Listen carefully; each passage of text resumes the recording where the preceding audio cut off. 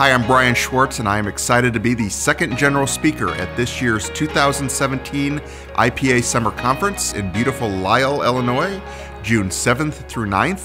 My topic will be protecting yourself in today's litigious society.